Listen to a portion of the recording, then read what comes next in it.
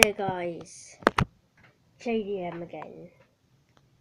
I have some weird news right now to tell you that I'm actually moving to my foster mom's sister-in-law and I'll be custody transferred so I'll be living there now for like forever I guess, I think so.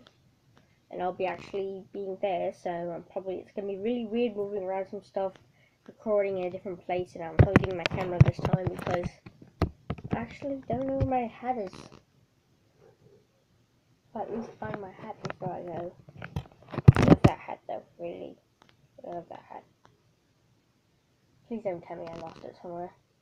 The main thing is that I have all my baby stuff packed up. Stuff.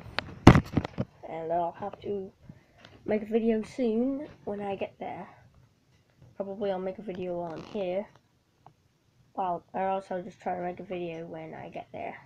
But I'll have to be moving my, I'll probably get my stuff put away first. So you're just saying that, so, bye guys.